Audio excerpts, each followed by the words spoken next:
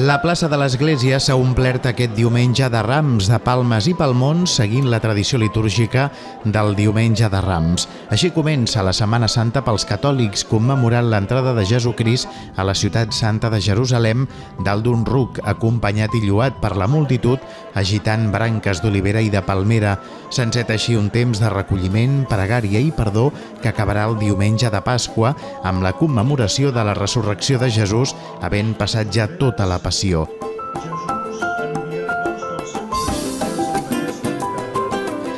El rector mossèn Josep Puig va fer la benedicció de les palmes de les nenes, els palmons dels nens i les branques de llor o olivera dels més grans. El dia, ben serè, va acompanyar la tradició d'assistir a la plaça de l'església a rebre l'aigua beneïda, la majoria de gent amb vestits, sabates i pentinats d'estrena, sobretot els més menuts. Els pares i mares, també endiumenjats, no van desaprofitar l'ocasió per fer-se la tradicional fotografia familiar de cada any, per després rematar el migdia assolellat del diumenge fent el vermut als bars de Calella o bé anant cap a casa a dinar.